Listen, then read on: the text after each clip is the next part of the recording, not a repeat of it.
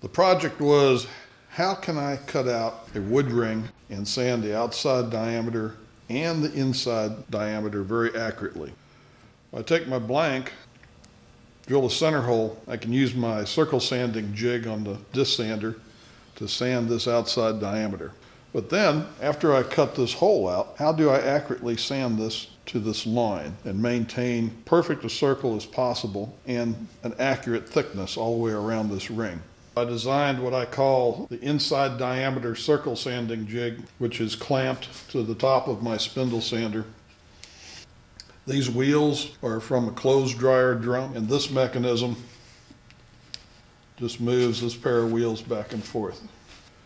I've got a set of little wooden hockey pucks, and on top I have this high molecular weight plastic.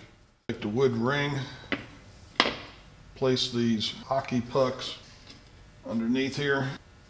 Their job is just to be slippery and to let that ring turn freely. Push this up to where it's just not quite touching that sanding drum yet. Put some bungee cords on here to load this wheel. This wheel is a little bit off-centered, and I found I had to do that to keep this ring against these two wheels. Just to, like if I tried to turn it the other way, you can see how that ring tries to turn up off of that bottom wheel. I don't want to put too much force on this wheel. I don't want to take a chance of distorting this ring or possibly breaking it. These rollers are old, they're hard, they don't have a very good grip on this wood. I had hoped I'd be able to turn this wheel like this, but you can see sometimes it quits.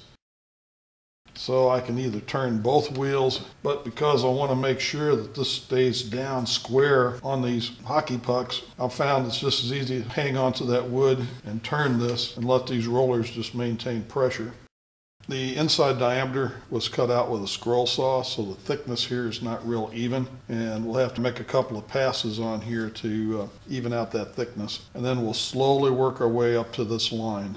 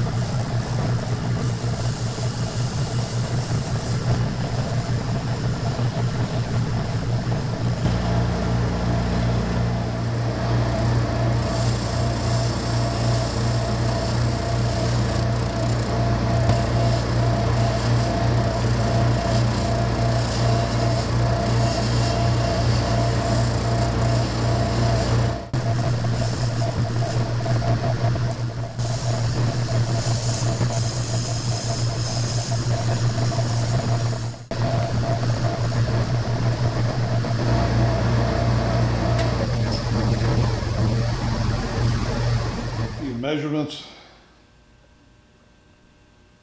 866, 863, 864, 866, 866. Measurements on the larger ring. 1070. 1069, 1070, 1069. They're not perfect, but they're pretty close.